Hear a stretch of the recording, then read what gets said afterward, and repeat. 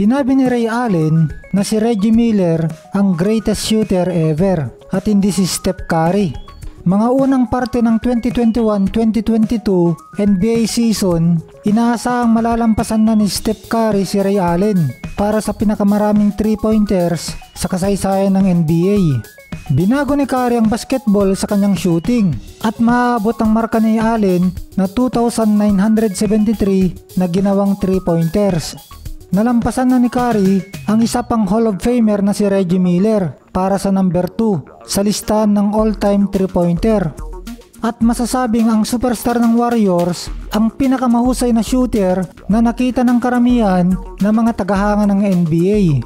Tingin daw ni Ray Allen na ang pagiging shooter ay may kategorya at meron daw sariling kategorya si Steph Curry bilang shooter dahil sa paraan ng paglalaro niya.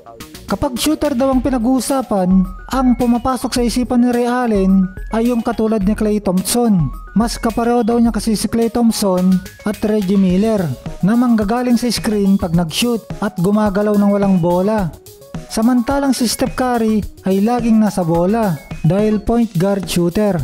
Ibang diskarte sa laro ang pagiging shooter ni Curry. Sobrang kahanga-hanga na ball handler kaya ibang kaisipan daw kapag ikaw ang humahawak ng bola at hindi manggagaling sa mga screen ang pag-shoot mo. Pero kay Reggie Miller daw ay tumatakbo galing sa screen at dahil lang sa sobrang magalaw sa laro, dun niya nakukuha ang mga shoot niya.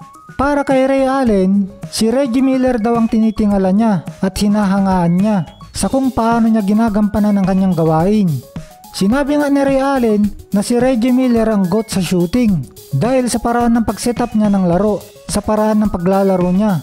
Dagdag pa ni Ray Allen na malinaw daw na isinama niya ang estilo ni Reggie Miller sa kanyang laro. Kumbaga, ginaya niya si Reggie Miller.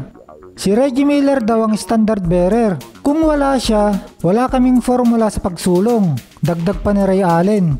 Salamat sa inyong panonood, like, comment, share itong video at subscribe ka na rin. Salamat!